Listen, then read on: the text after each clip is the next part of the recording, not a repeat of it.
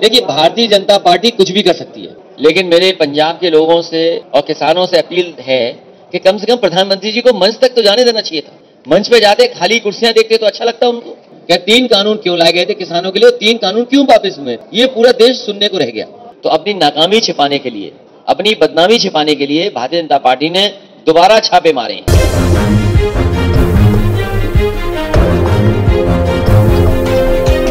लेकिन मेरे पंजाब के लोगों से और किसानों से अपील है कि कम से कम प्रधानमंत्री जी को मंच तक तो जाने देना चाहिए था।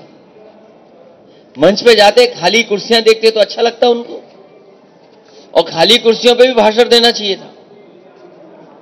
क्योंकि यूपी में भी खाली कुर्सियाँ हैं उनके लिए। तो कम से कम किसान भाइयों से हमारी अपील है कि अकेले मंच पे बोलने तो देते उन्हें। मैं कोडरमा में गया था। तो मैं देख रहा था कि हमारी पार्टी के नेता लगातार मुझे रोक रहे हैं। कार्यक्रम 11 बजे का था। बोले, आधे घंटे रुक जाइए।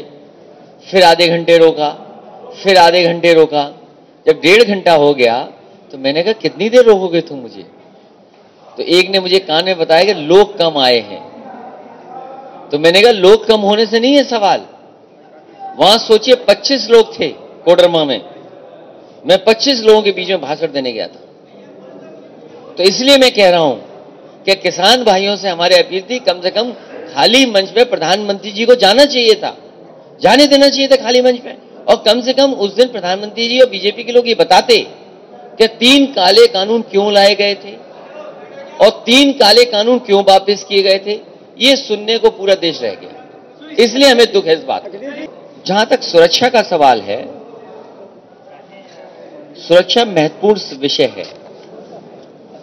लेकिन पूरा देश इस बात से रह गया सुनने के लिए कि तीन काले कानून क्यों लाए गए थे और तीन कानून क्यों वापस हुए थे। मुझे जो जानकारी है, मुझे ये लगता है कि भारतीय जनता पार्टी वहाँ ये बताती कि तीन कानून क्यों लाए गए थे किसानों के लिए तीन कानून क्यों वापस हुए। ये पूरा देश सुनने को रह गया। इस 700 किसानों की जान गई है। उसके लिए तो समाजवादी पार्टी ने कहा है कि उनके परिवारों को 25 लाख रुपए की मदद की जाएगी। देखिए, भारतीय जनता पार्टी कुछ भी कर सकती है। इसलिए उनसे सावधान रहिए। आज मुद्दे हैं महँगाई के। क्या महँगाई का इनके पास जवाब है? क्या बेरोजगारी का जवाब है? बड़े बड़े आयोजन किए थे इन्वेस्टमेंट के। क्या कोई कारखाना गोंडा में लगा? कोई Bharatiya Janata party digital India के चक्कर में फंस गई। वो अपने ही व्यक्ति पर छापा मार दिया। आप में से सब लोगों को पता होगा कि जिस समय छापा मारा गया एक कानपुर के इत्र व्यापारी पर। पूरे अखबारों ने, टीवी ने और बीजेपी के लोगों ने यह प्रचार किया, ये इत्र व्यापारी वही हैं जिन्होंने समाजवादी इत्र बनाया था। लेकिन जब सच्चाई सामने आई और रुपया ज़्यादा दिखाई दिया तो किसी ने स्वीकार नहीं किया कि ये समाजवादी इत्र वाला है। तो अपनी नाकामी छिपाने के लिए, अपनी बदनामी छिपाने के लिए भारतीय जनता पार्टी ने दोबारा छापे मारे हैं। ये छापे इसलिए मारे जाते हैं कि लोग बदनाम हो जाएँ, चुनाव में प्रचार न कर पाए, समाजवादी विजय रथ न निकल पड़े। आपने अभी बताया कि समाजवादी पार्टी के एक नेता ने, जो भगवान परशुराम का भक्त था, और उसके साथ बहुत सारे लोग थे जो भगवान परशुराम को मानते हैं, उन्होंने उनकी मूर्ति लगा दी, आज बीजेपी ने भी मूर्ति लगा दी।